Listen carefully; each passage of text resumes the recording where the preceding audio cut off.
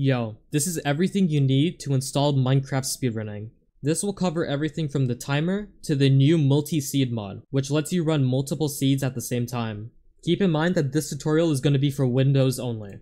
First, go to the link in the description and download the latest Graal VM JDK. Make sure that you download the Windows version. Next, go to MultiMC and download the Windows version. Next, go to the mod check GitHub and download the jar file. Finally, go to the MapCheck GitHub and download the jar file. Once you have everything in a folder and extracted, go to the Graal folder, bin, and copy this folder path. Go back, go to MultiMC, and click on multimc.exe.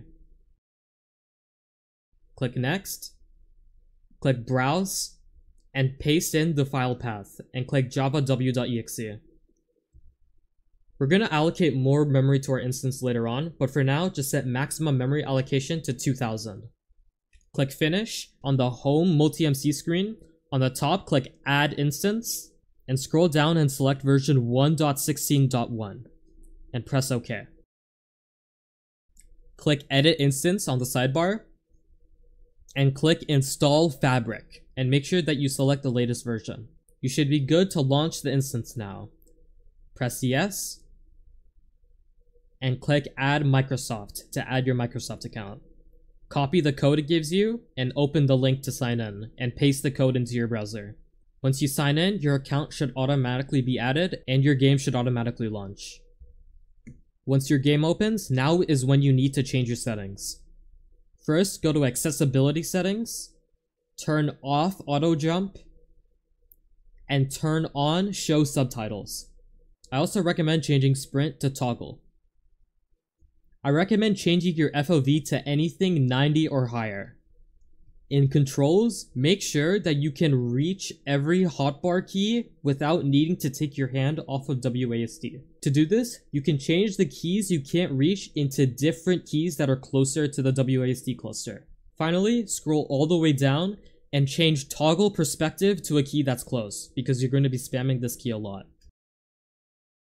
In video settings, you can change these settings like lowering graphics or turning off smooth lighting to give yourself more performance. Some settings that you should change is your max frame rate, which should be a little bit higher than your monitor refresh rate, VSync, which you should turn off, and entity distance, which you should set to 500. You can close out of your instance, and now we're going to install our mods and our maps. On MultiMC, click Minecraft folder on the sidebar, and copy the folder path. Open the ModCheck jar, click Select Instance Paths at the top, paste your folder path, and make sure that the run type is random seed and the OS is Windows on the side. Then click select all recommendeds and download. Once your mods have been downloaded, you can close out of the window and open map check. Click select instances, paste in the folder path, and backspace .minecraft. For beginners, I recommend downloading the Portal Practice v2 map, the End Practice map, and the Llama Bastion practice map. Click download at the top. When your game's open, go to options and click the book and quill in the top right corner and click on seed queue, the purple command block. You can skip the first three settings because we're going to come back to them later.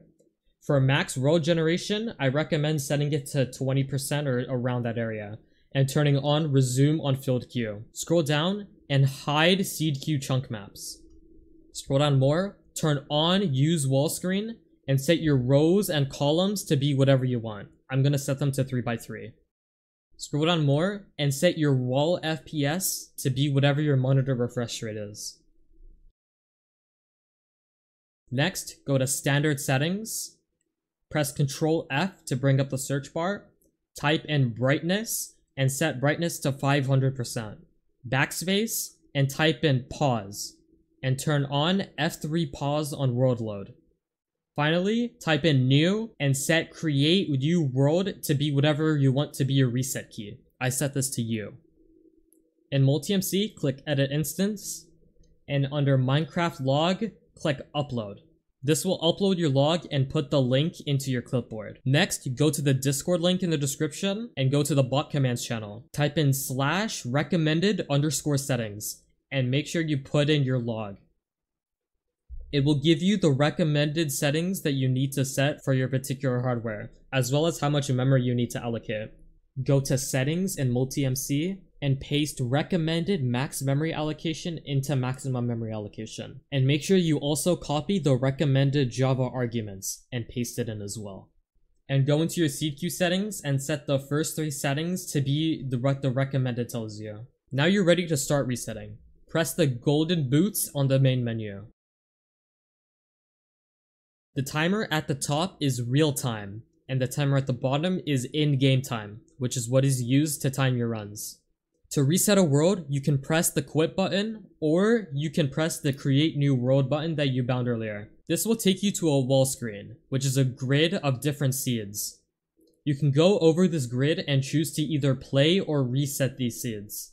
Pressing T on your keyboard will reset every seed on your screen. Pressing E will reset the seed that your cursor is hovering over. Pressing R will play the seed that your cursor is hovering over and pressing L will lock the seed. This will make it so when you press T to reset all, it won't reset the seeds that you have locked. To change these keybinds, go into your queue settings and scroll down until you see keybinds and press configure. From here, you can change these keybinds to be whatever you like.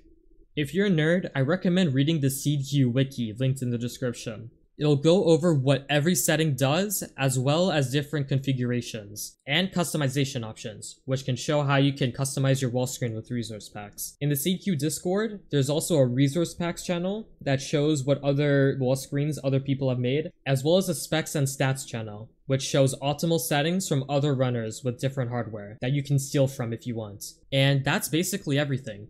If something doesn't work for you in this tutorial, I recommend going to the Java Minecraft speedrunning Discord and asking in the public help channel. If you want to learn each of the splits and how to actually speedrun Minecraft, I recommend Rekrap's tutorial, as it's a really great place to start as a beginner.